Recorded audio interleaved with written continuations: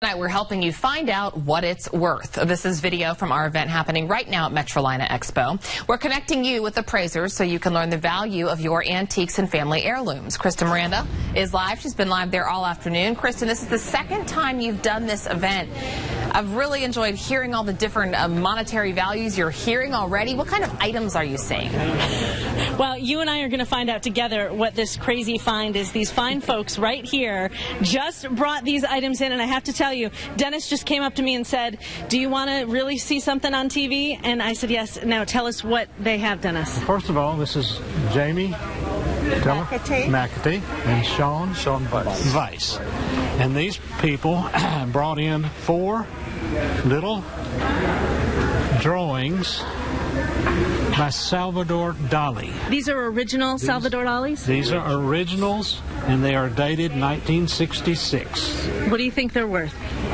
We cannot even give you an estimate. In today's market, it is an original. There's only one. What it brings is what it brings. Would that be something you'd take to auction? Yes. And that's what we're doing. All right.